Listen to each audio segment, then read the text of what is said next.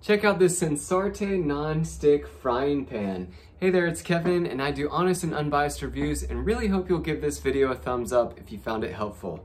Uh, so we picked this up, and uh, this trumps all versions of frying pans. Uh, this is an amazing pan. This is the 11 inch version. Um, and you can see we've used it quite a bit recently.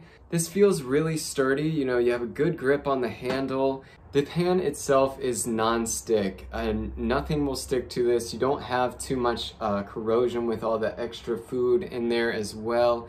Um, you can just, you know, push off your food and it'll be clean. This cooks anything from omelets to chicken to frozen foods to whatever you will have. Uh, this is definitely the pan we are turning to. So I hope you enjoyed this review and I'll see you next time.